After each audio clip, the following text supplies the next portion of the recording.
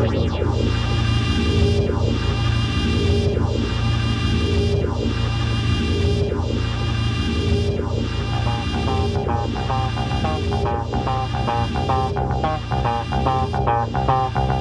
with another one of those block rocking.